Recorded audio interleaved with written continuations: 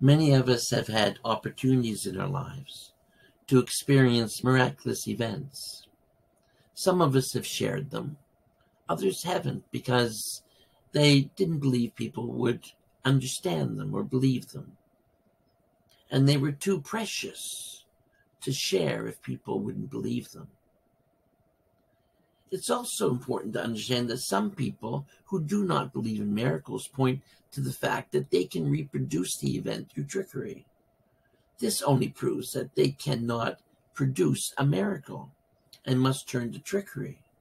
It does not prove a miraculous event did not happen. People make counterfeit money and it imitates quite convincingly the real thing. Does that mean that real money doesn't exist? Of course not miraculous events happen and people, we experience them. We can't do them on demand, but when they happen, they're profound. They change us.